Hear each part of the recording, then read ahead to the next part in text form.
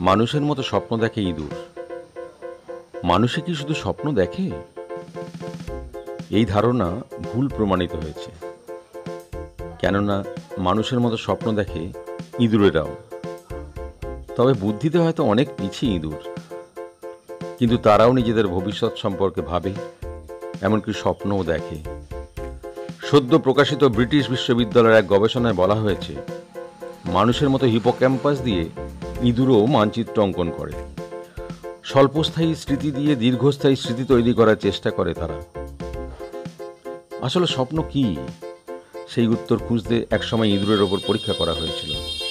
দেখা গিয়েছিল, ইঁদুর যখন কোনো কারণে গন্তব্যে পৌঁছতে পারে না, তখন তারা মানুষের মতো মস্তিষ্কে একটা মানচিত্র এঁকে নেয় এবং সেই মানচিত্র দিয়ে তৈরি করে স্বপ্ন। মানুষও অনেকটা এভাবেই স্বপ্ন বানায়। তবে এখানেই শেষ নয়। কেবল অতীত নয় আগামী বা ভবিষ্যতের স্বপ্নও দেখে ইঁদুর।